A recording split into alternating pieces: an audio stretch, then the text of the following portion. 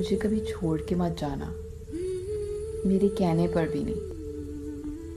मुझे तुम्हारा साथ चाहिए।